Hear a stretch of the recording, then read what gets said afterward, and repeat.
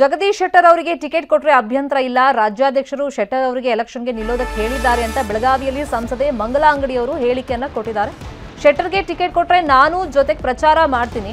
In fact ಮಕ್ಕಳಿಗೆ ticket ಕೊಡಬೇಕು ಅನ್ನೋದು ನನ್ನ ಆಸೆ ಆಗಿತ್ತು. ಆದರೆ ಹೈಕಮಾಂಡ್ ಈ ರೀತಿ ನಿರ್ಧಾರ ಮಾಡಿದೆ ಅಂತ ಮಂಗಲಾ ಅಂಗಡಿಯವರು ಸ್ಟೇಟ್ಮೆಂಟ್ ಅನ್ನ ಕೊಟ್ಟಿದ್ದಾರೆ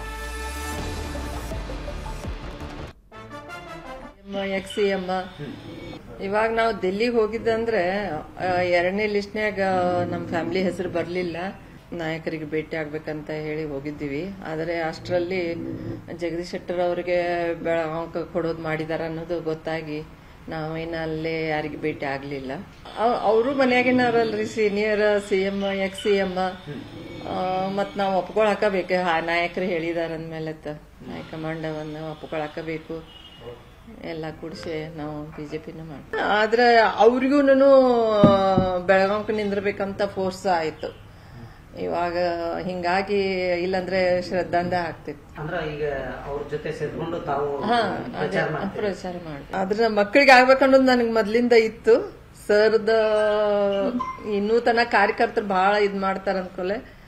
ಅದೇನ್ ಹಿಂಗಿರ್ಲ ಹೈಕಮಾಂಡ್ ಯಾರು ಅವ್ರು ಬೇರೆ ಡಿಸ್ಟಿಕ್ ಅದಾರು ಇಲ್ಲಿ ಬಂದು ಹೆಂಗ ಆತರ ಏನು ಅನ್ನಕ್ಕೂ ಬರಂಗಿಲ್ಲ. ಯಾರು ನಿಂತಿರ್ತಾರ ಅವ್ರಿಗೆ ಎಲ್ಲಾರು ಕೂಡಿಸಿ ಬಿಜೆಪಿ ಮಾಡ್ಬೇಕು ಅನ್ನೋದು ಮೋದಿಜಿ ಅವ್ರನ್ನ ಪ್ರೈಮ್ ಮಿನಿಸ್ಟರ್ ಮಾಡ್ಬೇಕು ಅನ್ನೋದು ಒಂದು ಇಟ್ಕೊಂಡು ನಾವೆಲ್ಲರೂ ಕೂಡಿಸಿ ಒಗ್ಗಟ್ಟದಿಂದ ಅವರು ಎಲ್ಲ ಶೆಟ್ಟರ್ ಅವರು ಎಲ್ಲರ ಜೊತೆ ಮಾತಾಡಿದಾರಂತೆ ಎಂ ಎಲ್ ಎಗಳ ಜೊತೆ. ಎಲ್ಲಾರು ಕೂಡಿಸಿ ಮಾಡ್ತೇವೆ ಬಿಜೆಪಿ ಅಡ್ಡಾಡ್ಬೇಕಲ್ಲ ಮತ್ತೆ ಯಾರಿಗ ಕೊಟ್ರ ಆದ್ರೂ ಅಡ್ಡಾಡಬೇಕಲ್ಲ. ಲಾಸ್ಟ್ ಅವರು ಬೆಳಗಾವನ ನಿಂದ್ರುದಿಲ್ಲ ಅನ್ನೋದಕ್ಕೆ ಮತ್ತೆ ನಾನು ದಿಲ್ಲಿಗೆ ಹೋದೆ. ನಿನ್ನೆ. ಮಾದಾರ ಚೆನ್ನಯ್ಯ ಶ್ರೀಗಳನ್ನ ಭೇಟಿ ಮಾಡಿದ್ದಾರೆ ಬಸವರಾಜ ಬೊಮ್ಮಾಯಿ ಚಿತ್ರದುರ್ಗದ ಗುರುಪೀಠಕ್ಕೆ ಸಿಸಿ ಪಾಟೀಲ್ ಜೊತೆಗೆ ಬಂದು ಭೇಟಿ ಮಾಡಿದ್ದಾರೆ ಮಾತುಕತೆಯನ್ನು ನಡೆಸಿದ್ದಾರೆ. ಇನ್ನು ಹಾವೇರಿಗೆ ತೆರಳುವಾಗ ಶ್ರೀಗಳ ಆಶೀರ್ವಾದವನ್ನ ಪಡ್ಕೊಂಡಿದ್ದಾರೆ ಬೊಮ್ಮಾಯಿ. ಇನ್ನು ಈ ಭೇಟಿ ಹಿಂದೆ ರಾಜಕೀಯ ವಿಷಯವು ಅಡಗಿದೆ ಅನ್ನೋ ಚರ್ಚೆಗಳು ನಡೀತಾ ಇದೆ. ಯಾಕಂದ್ರೆ ಚಿತ್ರದುರ್ಗಕ್ಕೆ ಇನ್ನೂ ಕೂಡ ಬಿಜೆಪಿ ಟಿಕೆಟ್ ಘೋಷಣೆ ಆಗಿಲ್ಲ, ಅಭ್ಯರ್ಥಿ ಯಾರು ಅಂತ ಫೈನಲ್ ಆಗಿಲ್ಲ. ಈಗಾಗಲೇ ಮಾದಾರ ಚೆನ್ನಯ್ಯ ಶ್ರೀಗಳ ಹೆಸರು ಕೂಡ ಪ್ರಬಲವಾಗಿ ಕೇಳಿಬರ್ತಾ ಇದೆ. ಸೊ ಈ ಚರ್ಚೆ ಪುಷ್ಟಿ ಕೊಡ್ತಾ ಇದೆ. ಚಿತ್ರದುರ್ಗದಿಂದ ಮಾದಾರ ಶ್ರೀಗಳ ಸ್ಪರ್ಧೆ ಹಾಗಾದ್ರೆ ನಡೆಯುತ್ತಾ? ಸೊ ಆ ಬಗ್ಗೆ ಮಾತನಾಡೋದಕ್ಕೆ ಅಂತಾನೆ ಇಲ್ಲಿ ಬಸವರಾಜ ಬೊಮ್ಮಾಯಿ ಅವರು ಭೇಟಿ ಮಾಡಿದ್ರ ಅಂತೇಳಿ ಚರ್ಚೆಗಳು ನಡೀತಾ ಇದೆ.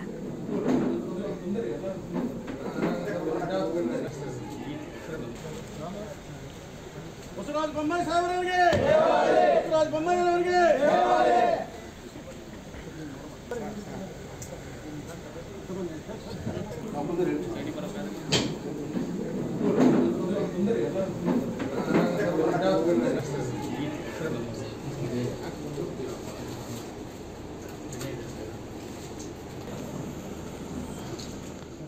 ಕನ್ನಡಿಗರ ಮೆಚ್ಚಿನ ನಿಮ್ಮ ನ್ಯೂಸ್ ಏಟಿನ್ ಕನ್ನಡ ಈಗ ವಾಟ್ಸ್ಆಪ್ನಲ್ಲಿಯೂ ಲಭ್ಯ. ಕರ್ನಾಟಕ ಮತ್ತು ದೇಶ ವಿದೇಶದ ತ್ರೀ ಸಿಕ್ಸ್ಟಿ ಡಿಗ್ರಿ ಸುದ್ದಿ ವಿವರವನ್ನ ನೀವು ನಿಮ್ಮ ಕೈ ಬೆರಳುಗಳಲ್ಲಿಯೇ ಪಡೆಯೋದಿಕ್ಕೆ ಈ ಕ್ಯೂ ಆರ್ ಕೋಡ್ ಅನ್ನ ಸ್ಕ್ಯಾನ್ ಮಾಡಿ. ನಮ್ಮ ಚಾನೆಲ್ ಅನ್ನ ಫಾಲೋ ಮಾಡಿ ನೋಟಿಫಿಕೇಶನ್ ಆನ್ ಮಾಡಿ.